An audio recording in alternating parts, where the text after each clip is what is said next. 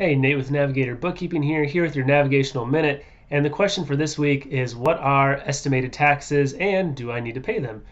Short answer is if you own a business or if you're self employed, you do have to pay quarterly taxes. Now, basically, how our tax system works is it's pay as you go. So if you are receiving W 2 wages, you know, regular payroll wages, uh, obviously taxes are getting withdrawn out of that.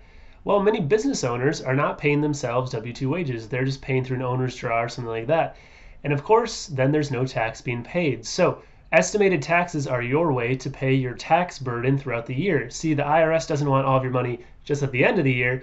They want it in four nice, neat payments throughout the year. And if you don't pay that, you're actually going to get penalized for not paying enough. That's why they're called estimated taxes. You need to work with an accountant who can figure out what your tax burden is going to be for each quarter, and then you can pay the correct amount. Um, now, if even if you are paying yourself W two wages, like if you are a S corporation, C corporation, you still do need to pay estimated taxes. Uh, basically, you're just paying the portion of your taxes that you think you will have uh, due for the entire year. So, in the same way, pay as you go, you're paying a portion four times a year. So, just very important. Pay those taxes once a quarter. Uh, work with an accountant who's going to help you figure out those estimated taxes. And as long as you pay them and you pay the right amount, you should be good to go. All right, let me know if you have any questions. Love to hear more about your thoughts about these lovely estimated taxes.